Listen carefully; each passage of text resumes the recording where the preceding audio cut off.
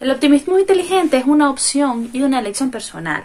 Es una actitud positiva frente a la vida. Es por eso que hoy te vamos a invitar a que te apuntes al reto de convertirte en una persona optimista. Para conseguirlo te vamos a proponer un ejercicio muy sencillo. Esta noche antes de irte a la cama repasa mentalmente todo lo que hiciste durante el día y presta especialmente atención a el mejor momento del día para revivirlo Piensa cuál fue tu comportamiento más satisfactorio durante el día y del que te sientes más orgulloso. 3. ¿Qué has percibido hoy que te ha gustado y que te puedas sentir agradecido? Cuando los tengas, coge el lápiz y papel y escríbelo. Léelo con completa atención y guárdalo en un sitio donde puedas tirar de esa lista cuando lo necesites. Te invitamos a que hagas de esto un hábito, un nuevo hábito saludable y lo repitas cuantas veces sea necesario.